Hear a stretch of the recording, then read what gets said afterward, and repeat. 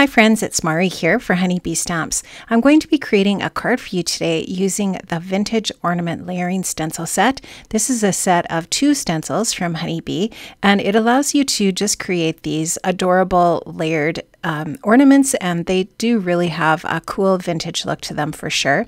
I'm working on my waffle flower medium mat. This is the smallest mat and what I'm doing is I'm choosing one of the open areas on the stencil that's going to just create this ornament here on a piece of white cardstock and I'm just blending on some ink here using my honeybee blending brush and I will list in the description box below the colors of inks that I have used.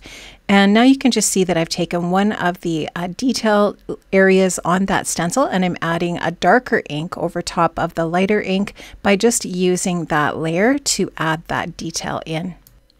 So it's just really fun to choose the different types of layers that you want on the ornament and really you can mix and match these however you would like and it's just really fun to create a bunch of really interesting little ornaments here on this card front that I'm creating by blending on the, these different colors of ink. So I really wanted to use some really soft colors um, or colors I thought that maybe were a little less traditional Christmas colors.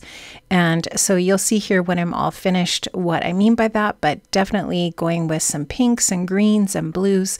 And it just, I think it looks really cool when it's all finished. So this one is going to be a couple of different colors of green layered on top of each other. It's definitely easier to achieve um, the layered look when you start with a lighter color and then layer a darker over top. And so here I just wanted to go with like a really dark, almost kind of like an aqua green over top of that uh, initial layer of green that I've added.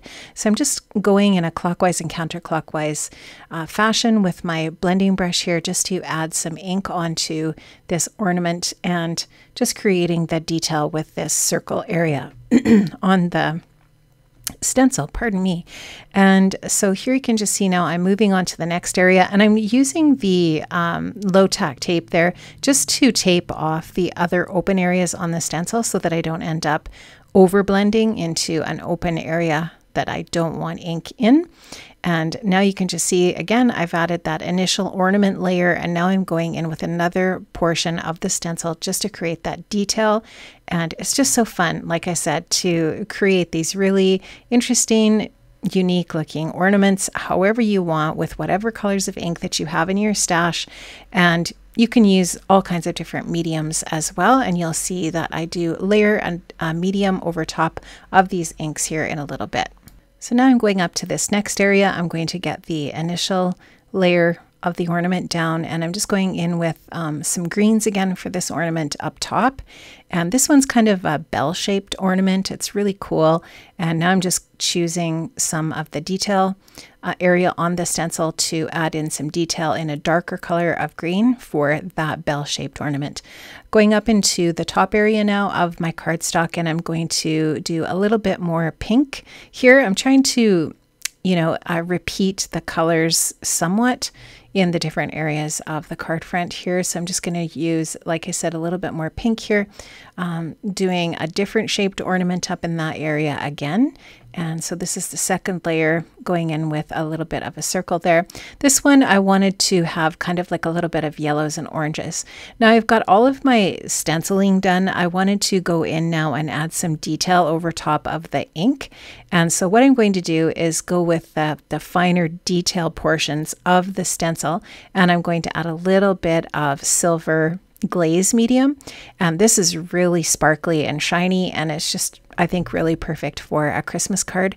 And so I just really love that detail that these this little bit of medium adds to the different ornaments. And I do end up letting this dry in between going from one area to the next. So you'll just see here, um, I finished that little kind of a star print on that one. Just going to show you one up close there.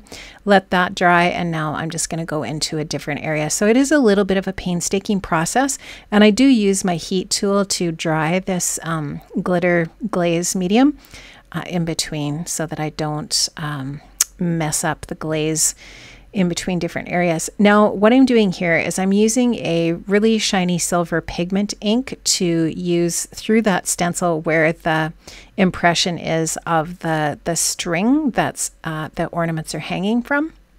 I'm just going to apply that silver ink to each one of the different ornaments just to have that impression of that string. Now I'm also going to be using the Merry buzzword and this is the Merry coordinating stamp and I just love this. I thought this was a perfect buzzword for this particular card. And what I did was I cut the, the word Merry from some iridescent, or I should say holographic cardstock, as well as some white cardstock. And then I cut the outline from some really pretty light pink cardstock. I thought that would look really nice with this card. I'm going to use my honeybee glue tube and I'm going to glue all of those different layers of that Merry buzzword together. So I'm going to glue the this first layer onto the pink outline and then I will layer the second white layer on top of that first white layer and then I'll finish off with that holographic cardstock on the top. The holographic cardstock just looks really pretty with the silver glitter uh, glaze that's on the ornaments and it just gives the card just a little bit of sparkle and shine and I just really love how that looks. I love holographic cardstock. I think it's so pretty and it definitely looks really nice on this project.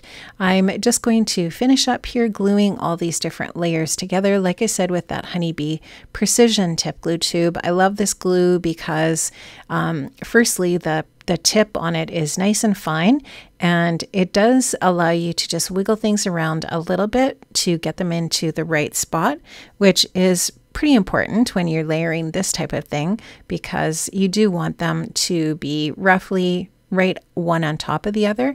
And so I am going to just wiggle these around a little bit and get them stacked nice and straight and even.